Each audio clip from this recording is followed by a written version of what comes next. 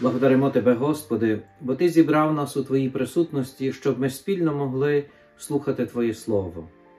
В ньому об'являєш Твою любов і даєш пізнати Твою волю.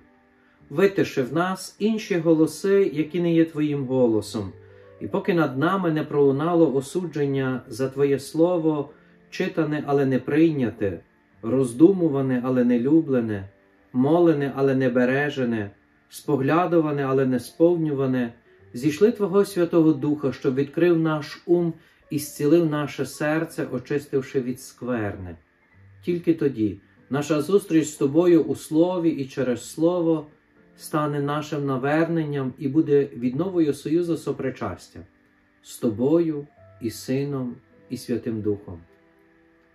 Благословенний і прославлений будь Боже, на віки віків. Амінь. З першого послання святого апостола Петра. Бо хто хоче любити життя, бачити дні добрі, хай утримує язик від лихого, уста від слів лукавих. Хто уникає зло і чинить добро, хай шукає миру і його тримається.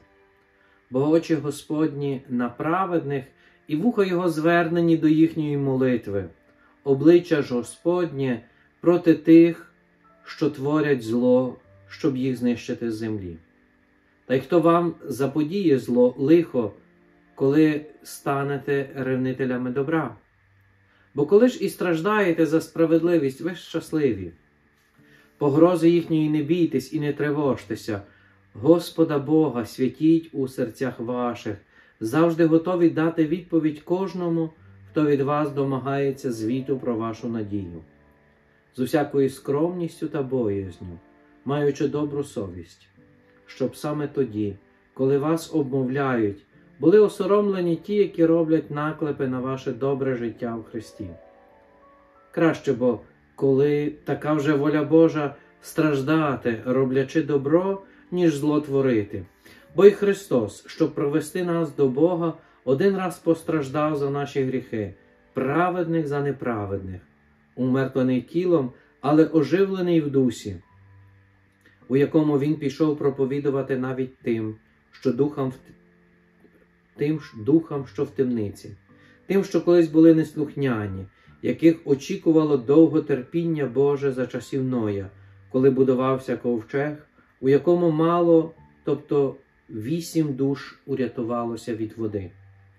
Вас же тепер спасає прообраз цього, тобто хрещення, обмиття не тілесної нечистоти, а прохання доброго сумління в Бога через Воскресіння Ісуса Христа, який вийшов знову на небо, є по правиці Бога і йому підкорені, ангели, власті і сили. У цьому уривку з першого послання апостол Павло, апостол Петро пише до спільноти вірних, розсіяних по всьому світі, показуючи, неначе шлях е, благочестя, що означає бути християнином. Показує, як важливим є вміти панувати над своїми звичками, особливо над е, балачками, панувати над своїм язиком, як говорить шукати того, що веде до миру, триматися цієї, цієї дороги.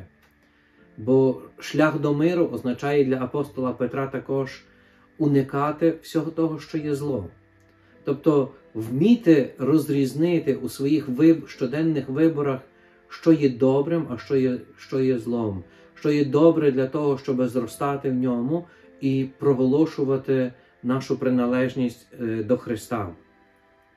І, власне, в цьому контексті, коли апостол Петро порівнює власне це вміння християнина відрізнити те, що є для нього добре і зле, каже, що навіть в тому, обираючи завжди добре, якщо хтось би переслідував, нічого на, нічого в нас не зміниться, тому що все рівно залишаємося по стороні доброго, а отже, є переслідуване переслідуване також е, добро.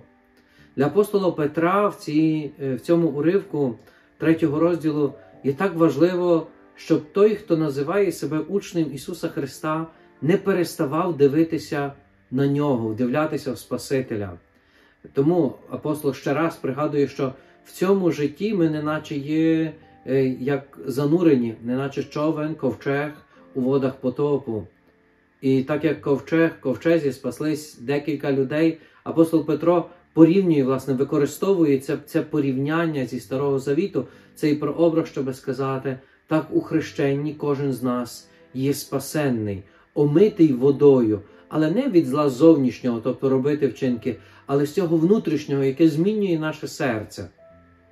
І саме тому, дивлячись, вдивляючись в особу Христа, християнин, учень Ісуса, зціляє своє серце і віднаходить, шукає дорогу, яка веде до спасіння, дорогу, яку дорогу, яка показує повноту того, що веде людину до щастя, до миру. Господи Ісусе, допоможи нам посеред хвиль нашого щоденного життя ніколи не втратити Тебе з поля зору.